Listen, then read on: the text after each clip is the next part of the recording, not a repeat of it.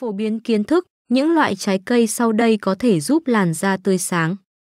Chẳng cần phải sử dụng mỹ phẩm đắt tiền, những loại trái cây sau đây cũng có thể giúp làn da của bạn sẽ được cải thiện và tăng cường sức khỏe. Nguồn: Báo Lao động. Chanh. Chanh là chất tẩy trắng tự nhiên, chúng rất giàu vitamin C, một chất chống oxy hóa mạnh giúp thải độc tố ra ngoài và bảo vệ da khỏi tác hại của ánh sáng và tăng sắc tố. Đu đủ. Đu đủ chứa vitamin A, D, B, axit pantothenic, fola và các khoáng chất như đồng, kali và magie. Chúng cũng chứa các enzyme như papain và chamopapain giúp ngăn ngừa tổn thương da bởi các gốc tự do và có đặc tính kháng khuẩn, kháng nấm và kháng virus. Nó cũng có thể giúp điều trị mụn cóc, chàm, mụn thịt và các nốt sần trên da, chữa lành vết thương và vết loét da mãn tính. Quả bơ Quả bơ rất giàu chất béo lành mạnh, chất xơ và vitamin E, A, D, A, B6, niacin, fola và axit pantothenic.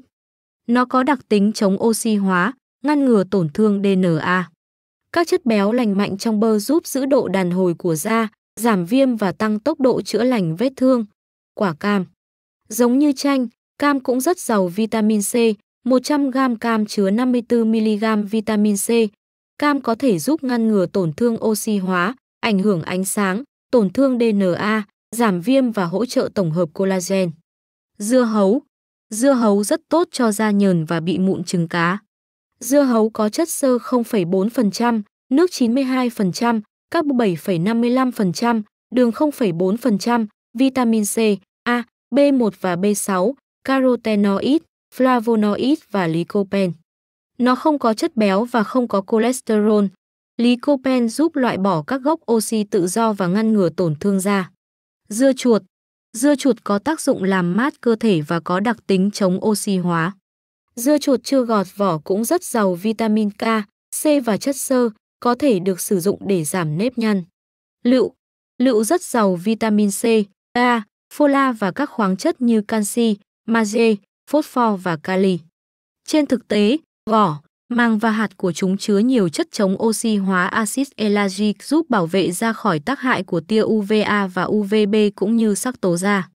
Chuối Chuối rất giàu chất xơ, vitamin A, D, A, E, fola và các khoáng chất như kali, canxi, phosphor và magie.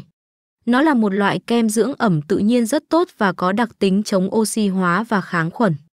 Quả táo Táo rất giàu vitamin A và C, chất xơ, kali, canxi và magie. Chúng có đặc tính chống oxy hóa và giúp loại bỏ các gốc oxy tự do có hại.